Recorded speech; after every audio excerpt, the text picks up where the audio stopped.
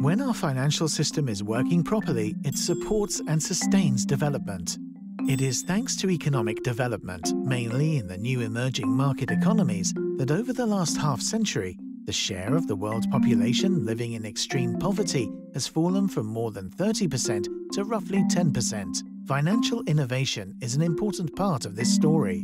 Innovation is happening all around us. The digital revolution is changing the ways in which we work, organize our lives, buy and sell, and interact with one another. It seems hard to believe, but it's true. The smartphone you carry around in your pocket has got at least 1 million times more RAM memory and 100,000 times more processing power than the onboard computer that guided Apollo 11 onto the moon in July 1969. Big challenge for our generation and the next is to apply digital technology and financial innovations in such a way that they support human development goals, that they contribute to the public good. Underdevelopment and climate change are without doubt the two biggest issues our modern world is confronted with. Promoting development through finance is something central banks and the BIS are very familiar with. It starts with what we call improving financial inclusion.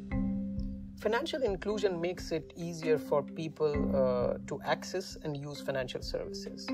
Figures show that worldwide, uh, one in four adults still do not have access to financial services. This is roughly 1.6 billion people.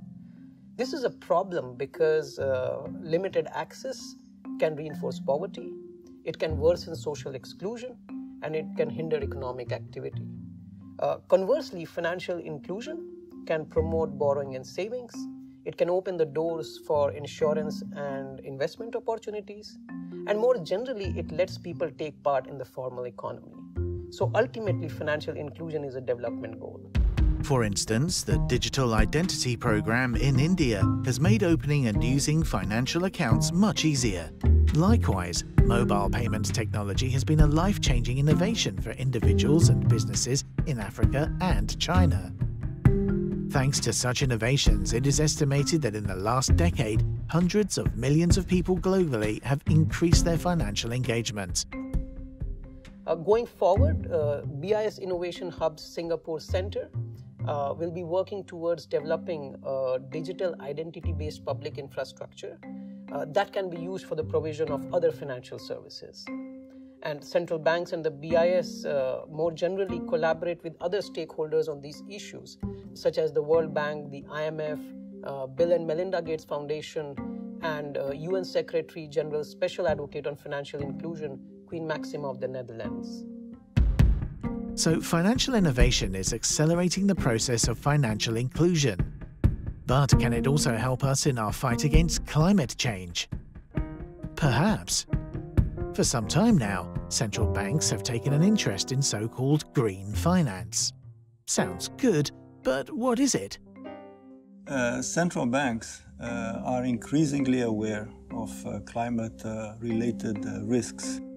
Uh, these risks uh, pose a severe threat to financial stability, which is in the mandate of central banks. And to address uh, those, they have constituted, under the leadership of the uh, Central Bank of the Netherlands and the uh, Banque de France, the network for uh, greening the financial system, the NGFS. Many central banks uh, meet there. The BIS uh, is also there, representing the institution. And there we study how best central banks and supervisors can work together to address climate-related uh, risks. Most central banks have considerable reserves at their disposal. When investing these reserves, they normally have three objectives in mind liquidity, safety, and return. Today, several central banks already include a fourth objective sustainability. This is a powerful incentive to invest in projects that promote and accelerate the transition to a more environmentally sustainable global economy. Green finance.